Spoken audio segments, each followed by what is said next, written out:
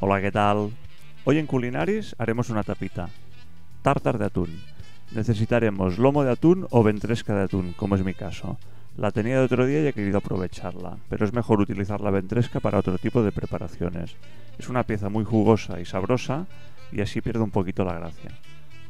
En todo caso necesitaremos también salsa de soja, salsa perrins, pimienta, un poco de sal, mostaza antigua o Dijon, pepinillos en vinagre y cebolleta. Empezaremos limpiando el atún. Como es ventresca tiene una capa de grasa un poco gruesa, habrá que quitarla primero. El lomo no tiene esta capa.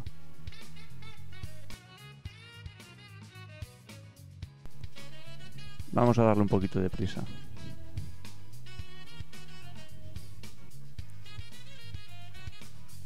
Una vez limpio el atún, lo troceamos. Primero un poco grueso, luego ya lo picaremos más fino.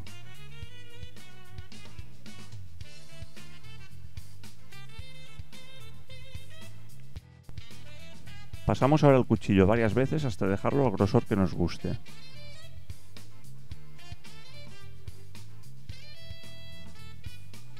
A continuación cogemos la cebolleta, cortamos las puntas, pelamos y picamos. En este caso me gusta bien fino.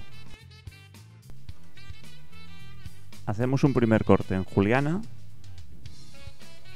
y después, como con el atún, pasamos el cuchillo hasta dejarlo bien picadito.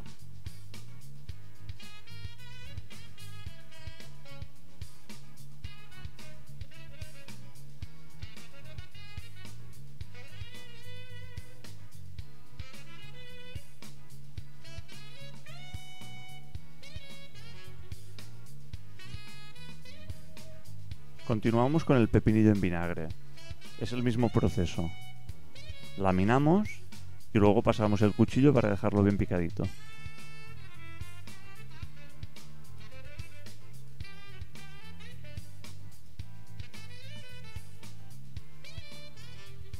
Por último, solo tenemos que juntar todos los ingredientes. Utilizaremos un bol.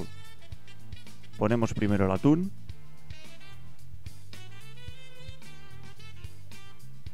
A continuación, la yema de un huevo.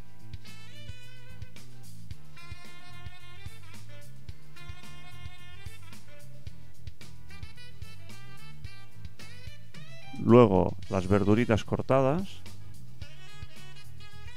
Primero el pepinillo.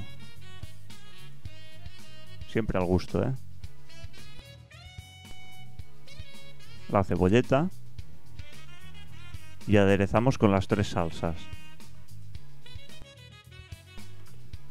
En el caso de la mostaza me he decantado por la ancien o antigua. Es un poquito más picante y me gusta este puntito que da.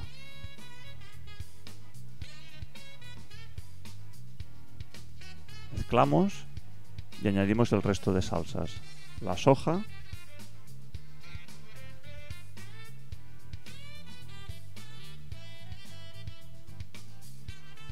Y la salsa perrins. Solo queda integrarlo todo y mezclar bien mezclado. Os recomiendo que guardéis la preparación en la nevera y consumáis a la mañana siguiente, porque está más bueno. Si utilizáis más cantidad, os puede servir como primero. Yo lo he presentado con tostaditas. Que aproveche culinaris.